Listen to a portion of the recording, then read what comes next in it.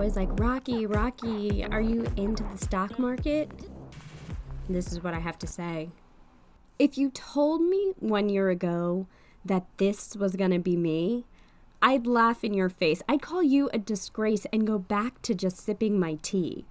If you told me one year ago that I'd be in on this fad, I'd roll both my eyes. I'd be full of denies and I'd probably get really mad. If you told me one year ago this is where I'd end up, I would walk out the bar. I would leave in my car and the whole scene would be real abrupt.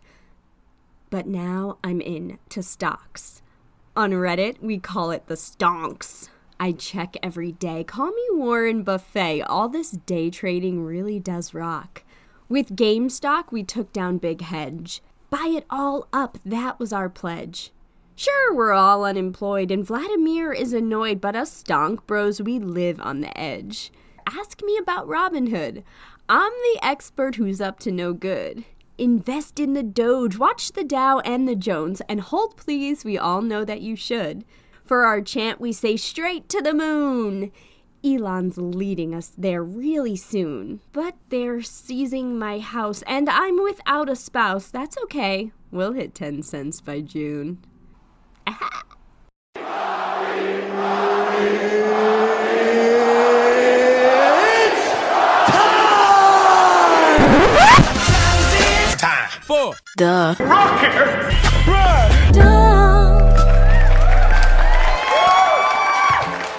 Welcome to the Rocky Rundown. Before we get to my guest, you get to learn a little bit about my week. This week felt a little hopeful in terms of the old vaxaroonie. Lots of my up close and personals are getting the vaccine. Low key brag, but also, you know, I don't have it, so not really a brag. But it's looking good for all of us. I was reading this article. Well, it was an Instagram post, but it had a lot of words, which I'm told articles also have a lot of words.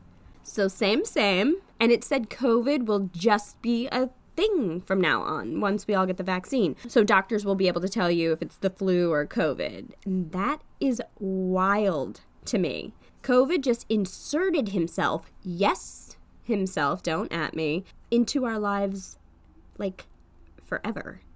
COVID is like finding out you have a secret sibling and they're kind of embarrassing and don't look like you, but you can't avoid them because they moved into the place next door. That's COVID. Another thought that I had this week do you guys think that the creator of autocorrect is just ducking with us? Hotel Cecil is on Netflix. Check that out. Could they have done it in three episodes? Yeah. Is it four episodes? Absolutely. But it was really interesting. What I got out of it is that it's a really scary hotel where a lot of horrible things happened, but would I ever stay there? Hell no. I'm wild, but I draw the line at murder dens. DM me if you'd stay there and tell me a reason why. If I get some good, compelling responses, I'd love to share them on next week's episode. I'm also interested in what kind of sick ducks are listening. I have a shout out this week to Grant Klein. I was a guest on his podcast, Living in Lockdown. Grant is a super gracious and kind host. His podcast is all about different people's journeys through the pandemic, so check that out. This Wednesday at 9 p.m. Eastern Standard Time, I'll be doing another episode of Wild Wednesdays on IGTV. If you can't tune in for the live, I will post it after. Who doesn't love that, huh? Speaking of guests, my guest this week is Vannessa Jackson. Stand up comedian, writer on A Little Late with Lilly Singh, and all around good woman who I thoroughly enjoyed speaking with. Her wild word was spelunking. If you don't know what that word means, don't look it up. I didn't beforehand, so go on this ride with me, baby. If you haven't done so already, please like, share, and subscribe to the podcast. Thank you to those who have written reviews on Apple Podcasts. It does make a difference. Follow me on Instagram and TikTok at Wild Nights with Rocky and enjoy my wild night conversation with Vannessa Jackson. Vannessa, welcome. Thank you for doing the podcast. Yeah, thanks for having me. This is awesome. Good, good. I'm glad you're here. So, I know you're in New York, but you're original you're originally a Cali girl, right? I am, yeah. I'm Yes. originally from Rancho Cucamonga. I just say Los Angeles because it's easier. Rancho Cucamonga. So I know in the movie Next Friday, I don't know if you're familiar with, but they're from. Is that where they're from? Like he goes Yeah. to visit uh, his cousin Day Day. Yeah, I always can tell like people's like pop culture reference points. People either say Friday, Bring It On, or Workaholics, and I'm like, okay, I know what type of person you are. Yes, but you know what's funny? I'm a little bit of both because not workaholic so much, even though I think it is a funny show. But I watched Bring It On this weekend. There you go. Okay, Yeah. you, know. Um, great movie. My roommate and I were just like trying to have like a 90s movie night. So we watched Bring It On, American Pie 1 and 2, but I know it originally from next Friday. I love it. Okay, OG. OG. so you uh, came over to New York. How long ago did you join us in New York? It's technically two years, like a little over two years, but Mhm. like since COVID's happening, it feels like just a year. Yeah. But yeah, technically, legally, two years. Well, I'm glad you stuck it out here. A lot of people fled, which was their choice, but it's it makes you kind of different when you stick it out here through the pandemic.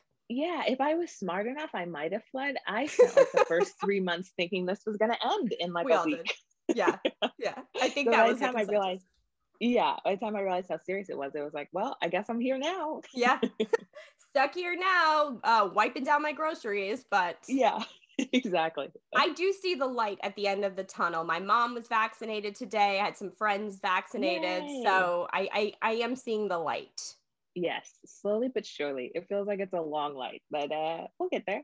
So speaking of light, we can talk about some lighter things, or maybe they're heavier. See, guys, I don't know Vannessa's story right now, but I know she gave me the word spelunking. That was her wild word.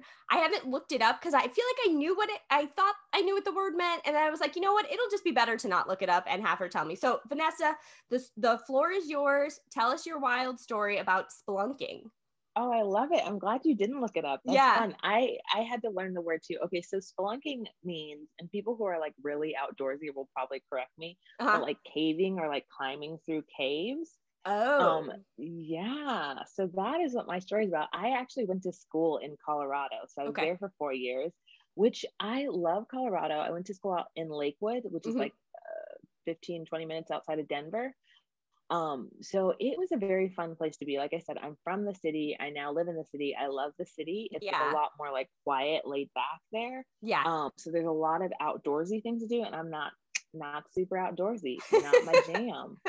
Um, so but I, I'm also like a person who's like, I will do anything once. Like You're down for I- stuff. yes, I'm Mhm. like, let's try it out, let's see. And then uh if we need to never do that again, like skiing, I learned never again in my life. Did it once. That's it. That's the Same only time I will ever. Same for me. Good. oh, blessings. Did you did you like not know how to ski the first time you went? Absolutely not. I didn't know how to ski. I went about 10 years ago and I was an absolute embarrassment. Like grown, shouldn't have been on a pair of skis. So the next time I went was in Colorado and I was like, you know what? I'm down here. You guys ski. I got a blue moon. I'm chilling. Yeah, see, that's smart. I went Yeah. with girls who had like been before and they were like, let's skip the little bunny slopes and let's just go on the regular course and Mm-mm. not athletic. That is another story for part two. We'll do a part two one day. I can't wait. yeah, so good. But my spelunking story, okay, so there's a thing, we just called it caving in college, where Mhm. basically you climb up a mountain and then you climb inside of the mountain and then you climb around in the mountain. And Up, inside, and around. yes, like you hike to up a mountain and then you hike inside the mountain and then you crawl through these caves. Mm. And so they were like, Do you want to go caving? And I was like, Okay, knowing in my head that I'm afraid of heights. Mhm. But we decided to do it with like our entire like freshman dorm floor, which again, as I just explained, never bring 20 girls up a mountain. that should have been our first clue that like this shouldn't have gone down. I don't know why we thought this was a field trip activity. yeah. Um, it was not. Uh, the reason that we got 20 girls too is because we also brought one of the cute RAs from a different floor who's like six seven basketball player, like super tall. yes. yeah. So of course all the girls were like, "Who's going? He is. Okay, cool. We'll be Yeah. there." Um, so all 15 girls. He didn't end up with any of us. Um, Naturally, no. of course, of course he didn't. Why would he? You know. Um, so we arrived at this mountain. The fun fact that we learned about him again, this man is six seven. He was also afraid of heights. So we brought someone for safety who was definitely yeah, who was definitely afraid. So Yeah. but he didn't mention that till we got to the mountain. And he was like in the back, like hyperventilating. oh my God. And I was like, did nobody ask him? Like, why did he come? I don't, I actually don't know to this day. I think they had to like force him to come. Right. I don't know what his thought process was. All of us not in our right minds. Can I ask So- about the ladies that went? Was there a leader Oh, amongst you? There was a, okay, there was leaders, but they were like the kind of girls who were like, you, you know how like when you do a new activities, there's the people who are like willing to explain it to you, and then there's people who are like, they think they're explaining it, but really they've done it 18 million times, and they're like, why is everybody going so slow? Yes, Um, I do. So, yes, so they were like those kind of girls, sweet, sweet girls, but they were like, we're climbing up a mountain, we're climbing in it, no explanation, just like this is what we're doing. I hope everybody knows what they're doing. right. and none of us did. So yes, we had like two ish leaders. Mhm. Um, so when you go caving, you're supposed to bring like headlamps with you. Um, which is another sign I was like that I shouldn't be doing this. I didn't think about like we went at night too, like 9 p.m. to a mountain. So we needed to use the headlamps to To hike up a mountain. Yeah. There's no like it was insane. So we Mhm. climb into this mountain, uh, super tiny, super squished Right. again, we only had two girls who knew what they're doing, and this one man who, again, is six seven. And if you've never been inside a cave, they are not made for six seven people. No, no, no. It's a Um, different kind of Yes, experience. and like a fit, like buff six seven man. Mhm. Um, and then there's me, who, if you couldn't tell, am black and have like black hips and curves. right. So fitting They into these like no, they don't. You know, Shakira said it. they do not lie. And No. this was the moment of truth, in fact. So we're like climbing through this thing. A line of girls, 15 girls, we're trying to like get around this cave. You have to climb on your like arms through things. You have to climb over rocks. yeah. Um, so we're climbing through this thing. We get to this area called uh it's called the Devil's Butt Crack. the devil's butt crack. Yes, which is okay, if you can imagine, it's two slabs of rocks that are about Okay. the size of a human body, hopefully, if your body is small. Okay. Um, and so it's this devil's butt crack. You have to, okay, there's an edge, and then the ground is maybe like four feet below. You have to wedge your body in between it and climb down three feet, like just using your back pushed against the back of it and this. So it's very claustrophobic. this is uh, fun. It- thank you. That is Rocky. We are the same person. That Like was what? the yeah. The minute I got there, I was like, people do this for fun. Why? I'm deathly afraid. Number one. Number two, you want me to almost hurt myself, like almost endanger myself. now with the the line of girls, I know you said Big Man was in the Uh-huh. back. He was Yeah. But where did you fall in the girls? Were you kind of in the front? Were you all the way in the back, or were you squished in the middle? Okay, so here's the thing. Like I said, I'm afraid of heights. Mm-hmm. So I was the big man. I was like, listen, me and you, we're gonna do this together. He refused to do the devil's butt crack. He was like, no. I was like, past. so there was yes, yes, yes. So the girls who had known the way, they they had like an alternate um like way to go down. Very second fun fact is like if you're not gonna crawl down, the other way was even more difficult. It was either like you could risk dropping or you could squeeze underneath boulders and you wedge say your body. risk dropping? Yeah, well, because the the devil's butt crack thing, there was no ground. You just like stepped off the edge and then pressed like your whatever this part of your body is called and your back. So you had to like, does that make sense? You had yes, to like it does. You had to. it- you're almost like a magnet, kind of, but there's no Yes. suction cups. Yes, like a rock wall, but without the rocks. Just like, let's hope to God that it works. My roommate actually, my roommate Hannah, bless her soul, is the sweet, and I always to this day she survived. I always tease her about this because when I got down underneath, um, she was coming down and she was like, I can't do it, I can't do it. So her theory was to just drop, which let me tell you, would not recommend. No, I think no. she she definitely scratched her knee. I think she might have sprained her ankle or just hurt her ankle. It was it was by far the most crazy move, but it was classic Hannah. Classic Um, Hannah. I was just gonna yeah. say that. yeah, you were you were like typical Han. Classic Um, Hannah. I actually do say that when I don't know someone and someone tells me something they do, I'm always like classic so and so. So I literally was gonna say classic Hannah, but Oh, I I was right.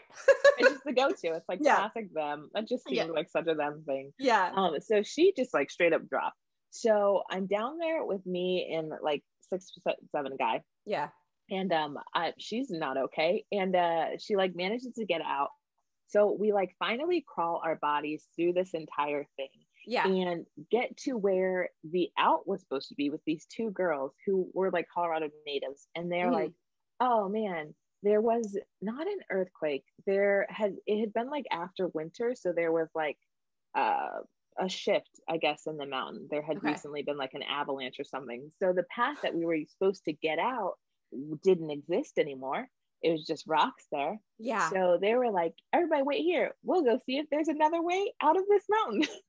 because you Oh. can't climb back up the devil's backpack because that's not a thing. no, that's not an option. no, you get it. You're starting No. to put the pieces together. this is not it's one of those, yeah, one of those nights where I was like, why, why did I decide to come? Why did I think that this was going to be a good idea for anyone?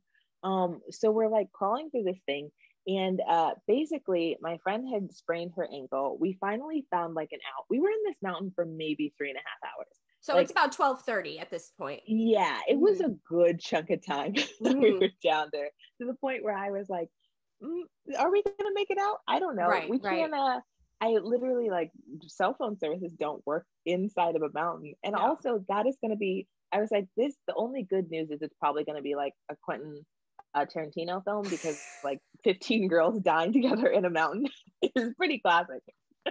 the man will still be the uh, star of the movie, but Obviously, that would be the only part is he would look like the hero, like. yeah, hold on, ladies, when he was like curled up in a ball. right. Sawing his leg off to like save Hannah, and then hopping Yeah. through the hero. Isn't that so sad? Yeah. That is 100% the fact. Um, I would have died first, obviously. I was one of a few Black women. so, but you were gonna be like, I would have died first, virgin. yeah. Me, that's why I'm. Spl- that's why I'm splunking. yeah. Human sacrifice. Oh, crazy. So we finally figure out a way out. Like Yeah. we get out, which is lucky, but we had to like carry my friend down because she had hurt herself. And it was funny. I learned that day. I do not um do not ask me in a crisis situation to help. I was just like humming. I found out like when things get really bad, I just hum music. And I was just like humming songs and was like, let's hopefully get you down this mountain. Uh, and I was no help whatsoever. She survived. We all survived. I don't know how we survived, but somehow we did it. And uh, that is my wild night. Can I just say, I picture you humming, but all of a sudden, while you guys are like carrying Hannah out, you just have a fan, a church fan pops out, and you're slowly humming like Jesus walks while you It fan might yourself. have, low key, it might as well have been that. Like legit, I might as well have just been singing like Jesus walks. I don't think I helped at all. Oh I like was like, yeah, you can lean on me, but I was like terrified. I'm already afraid of heights. Like yeah. it was a steep mountain down. It was yeah. I I should have just been singing hymns, Yeah. like old hymns. oh, the, the hymns, old and new, you got them all. Yeah, exactly. Now, I know you said you tease Hannah sometimes about this still, and she was your roommate, but are you close with any of Mm. the other girls or big man, as we call him? No, I know Big Man Classic. I am not close with him. I still talk to Hannah a lot. And Uh-huh. I would love to say that this was the last time that I ever did any sort of caving or like outdoor activity in Mhm. Colorado, but it was not. Um, we still chat and we still joke about that. I did like also white water rafting out there, which is another thing that I would. Uh, have you ever been white water rafting? Absolutely not. I learned from all these experiences in Colorado that I need to ask more questions about what certain activities entail Mhm. uh, like I showed up to Whitewater Raft and it's literally a raft, which sounds so stupid, but I thought it was like a boat. And they're like, no, you sit on the edge and just hold on. And I was like, why do people do this? I couldn't survive in Colorado, not as a full fledged adult. like, there's just no way. I really think that it's great that you did immerse yourself in the Colorado culture, though. Yes, I feel when when in Denver, do as the Den Denverans, Denverians, Denverans? Denveridians, Denverans, the Denverites. the Um, Denverites. do- I like that. yes. yeah do as they do uh yeah i mean there i love that state there's like so much beauty out there and so Yeah. much to see but it very much is a place that's like if you are not outdoorsy you probably will not have anything to do It ain't happening. Yeah. no yeah the hiking the like all of it is like definitely precedented on like you should sort of kind of be physically like active if Right. you live there unless Right. you're in boulder because they are just stoned out of their minds but Really? outside of boulder yeah How That's far like is the- South that's- Park? Oh, that's a good question. I don't know. Oh, okay. Yeah. I was going to really ask if it's question. actually like a town of cartoons. you cross the line and you just become animated as soon as you get there. That would be crazy. You're like, What about actually. Breckenridge? Have you been to Breckenridge? Yeah, I have been to Breckenridge. Breckenridge is a place where people do a lot of like skiing, Mhm. snowboarding. And like I said, I just went that one time and was like, never again. I don't Yeah. know why skiing was the thing I said no to, even though that's a like socially acceptable activity. But caving, I did like multiple times. Well, I can see why you would say no to skiing. That that feels like uh, when you're spelunking, you have a little more control of your body. You don't have these poles that are dictating where you go. I think you're right. I think that's what it is. Cause like I learned in that cave, like at one of the points when I got like stuck underneath because Yeah. my hips, like literally, I was like, I physically don't think I could do this. And Yeah. I started like slightly hyperventilating. And I think I learned like if I feel like I'm trapped or like I don't have control, that's when I get stressed out. Is I'm Okay. like, Yeah. yeah. And but then when you're doing the like skiing with the poles and stuff, I was like, this does not make sense in my brain. None Yeah. of it um at all. I love that people are having fun with this, but uh not not for me, not my calling. No. And a lot of people who are skiers have been on skis since they were two years old. Yes, especially in Colorado, it's like if you were not born with a snowboard on your feet, like what are you even doing? Although there's a weird rivalry between snowboarders and skiers, which I Really? find so strange. Yeah. It's like you either do one or you do the other. And like I had one friend or another roommate who like skied and she's from Colorado. And I was like, Oh, do you ever snowboard? And she was like, No, we don't talk about that. I was like, Okay, cool. Isn't it interesting that there's so many subcultures around the world, but in America too, there's so many subcultures, and us as outsiders, not skiers, not snowboarders, we could say mm-hmm. something innocent like that, like, oh, you know, I bet you ski and snowboard, and then someone gets so offended, and you have no idea that there's this rivalry. Yeah, that is like the funniest thing ever. And I love that is when you mention something and people are like, that's not to me. And you're like, Yeah. yeah, sorry. I just thought that was like a typical hand in hand thing. And it was like, you either snowboard or you ski. I keep wanting to say skateboard. Don't even get us started on the skateboarders. no, don't even. Ryan Sheckler, what happened to him? Where did he Throwback. go? Where did he go? I know. I thought he was going to be bigger than Tony Hawk. And nope. No. I saw a funny Tony Hawk tweet.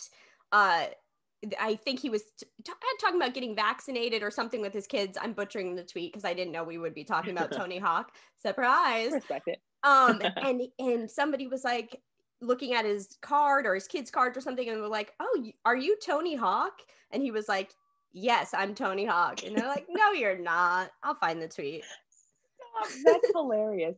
That is embarrassing. And yet, like, I would probably, he's one of those people who almost exists. This is going to sound super creepy as like a mythical figure, Yeah. you know, where you're like, Tony Hawk, he, you know, he's still alive, but you like don't really hear about him often. Right. I feel like every sport, especially sports in my head, like if I know about you, you must be really big because I don't pay attention to anything. So like Yes. skateboard is like Tony Hawk, golf is Tiger Woods, you know. So it's like he is sort of like a legend of like also the name Tony Hawk. Nobody has the last name Hawk. Is that a Right. stage name or is that his real name? Do You skateboarders know, have stage names? I think skateboarders. These are the questions. now we're speaking our language. um, do they have a stage name? What's Like- their call time? um, yeah. I I think it's his real name. that makes sense. That would track. Yeah, I'll you know what I mean. later. Yeah, Tiger Yeah. Woods. He got into a bad accident yesterday. Did you hear about that? Yes, he did. Luckily, he's okay. Which is Yeah, that insane. Very Yeah. scary. we need you, Tiger. You can't go anywhere with it. You know what I mean? I know. There's just been too much loss. Every e- issue of People magazine last year was just like literally um someone dying, and I was like, I we can't handle it anymore. Yeah, it. Yeah, it's turning into X People magazine. you know yeah, what I mean? know exactly. All right. So you're living in New York now. You're here, you're Mhm. hanging. Are you still working on Lilly Singh? I am, yeah, which has been really fun. I'm working on season two. We like so pre-tape and bank a ton of episodes. Mhm. Yeah, it's been. It, she has like a really cool, unique voice. I wasn't Yes. super familiar with her before, like writing for the show. Mhm. um but it's been like really really cool i'm really into like pop culture and just Me like too. cultural things and so Mhm. they love to indulge just like my weird uh things. We did like a segment called Pour One Out where we Okay. like pour one out for like celebrities who have found love. Like we did Michael B. Jordan, Riz Oh. Ahmed. Um, we're doing Shailene Woodley. And I when I first pitched it, I was like, this is gonna be weird. Um, go with me on this. and they were like, Yeah, let's do it, sure. So they're really, really cool. Yeah, about like indulging my weird intricacies, which is awesome. Well, you know, they hired you for a reason. They like your voice. They want you to have your voice heard. So, yeah, be proud of the stuff you're putting out there and realize like you're there for a reason.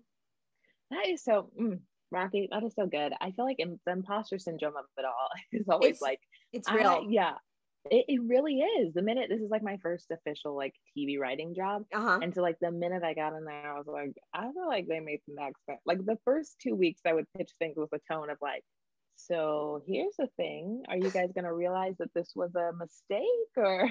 So here's the thing my desk is packed up. I'm ready to go. But I do have this one idea. Do you want to hear me out really quick? yes, yes, exactly. I will, I will leave and never return. If you hate it, I get it. I understand. I'm No. on borrowed time. Mhm. Uh, but here's this weird idea. no, girl, you're there for a reason. They you're they want your voice to be part of that show. That's why you got hired. Keep keep pitching your fun Yes. ideas. You know what I mean?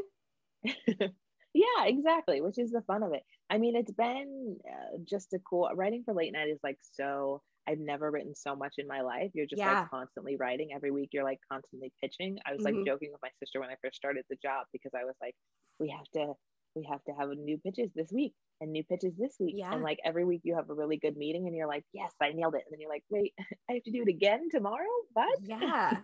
What's the the schedule like? Is it like an 8 to 10 kind of deal? 10 to 12? Yeah, eight to ten. Um, right now remote because of everything going on. So Right. it's a lot of like Zoom meetings Mhm. of just like pitching, brainstorming, um, just throwing ideas against the wall. Everybody in the room is like so great, so smart, so Mhm. talented. So that like really helps to like up your game and feel like, okay, I can't slack uh, because everybody else is so funny and like so good.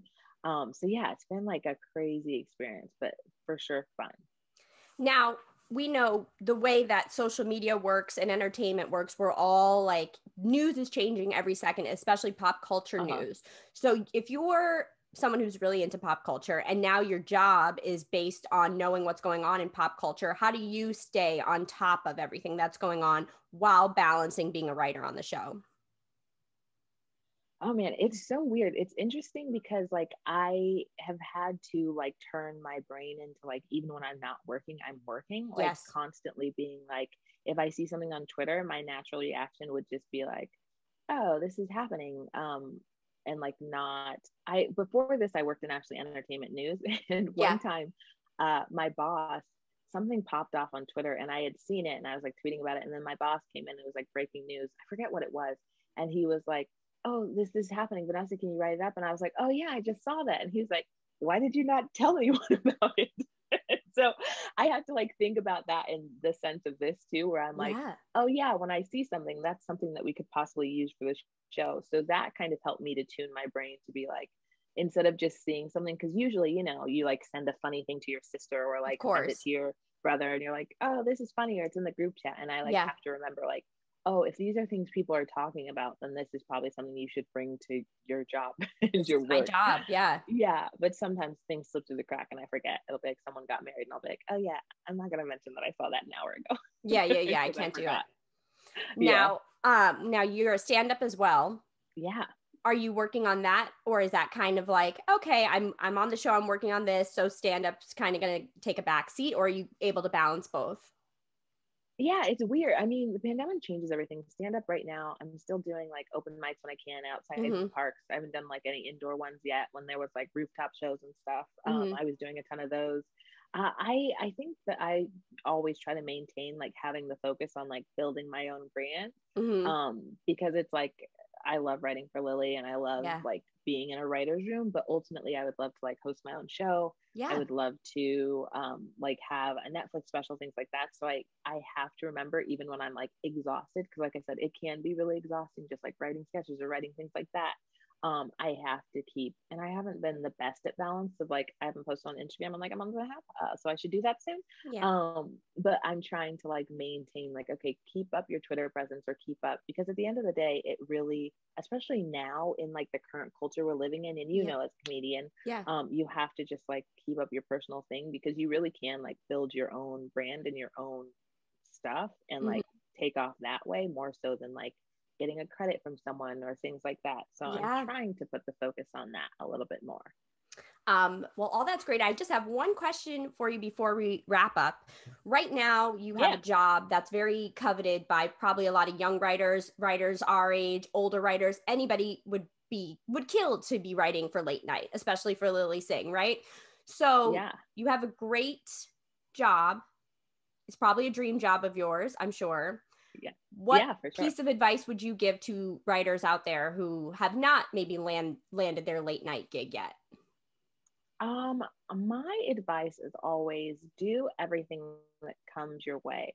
I Yeah. think there's like a tendency to be a little bit more selective in Mhm. the sense of like if you get a packet for something and it's like someone that you're like, oh, I don't really like their voice, or someone Yeah. you're like, I don't really see myself right. I always tell people just do everything because even if you don't get the job, every especially like packets, you know, late night packets is what Mm-hmm. they call them, which is just like an application for a job essentially, or like a packet of jokes.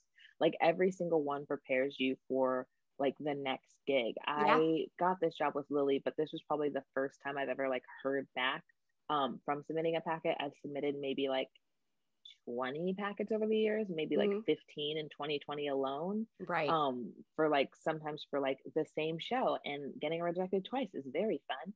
Um, but I always say just like it doesn't matter who, unless like it's obviously unless it's someone who like goes against your like if Donald Trump had a late night show and you were like, listen, I, I heard he's commit to that." hiring. yeah, exactly. If it like goes against like things that you strongly believe, but other course. than that, if it's just someone who you're like, oh, I don't necessarily know if I love their humor or whatever, like just do it. Keep writing. Mm-hmm. Um, like literally do a Twitter account, keep putting out jokes that way. Mhm. It really is like a numbers game as much as it is talent. It really is like just continually continually honing it and Yeah. honing your craft for sure. Well, Vannessa, I really appreciate you sharing your wild night story. I thought it was wonderful. I thought it was fun. Um, and you know what? Sometimes the stories on here get a little debaucherous, which I'm all for. uh, that is why this show is called Wild Nights. But I also really appreciate like a wild night that had nothing to do with drugs and alcohol and sex, and just a night that was like, this shit was crazy. you know, it's what I try to bring to the table. I was I loved it. fun story. I absolutely loved it. And I'm glad you made it out of the cave safely. I'm glad Big Man made it out of the cave safely. I'm glad Hannah is healed. Me too. Yeah. What a crazy time. We love Hannah. Um, so thank you so much for doing the show. And I wish you the best with everything. I know that, you know, a few years from now, we'll be watching you on late night too. You will have your own show because uh you're a funny lady. Girl, thank you. thank you so much for doing the show, Vannessa. Absolutely. Thanks for having me. It's a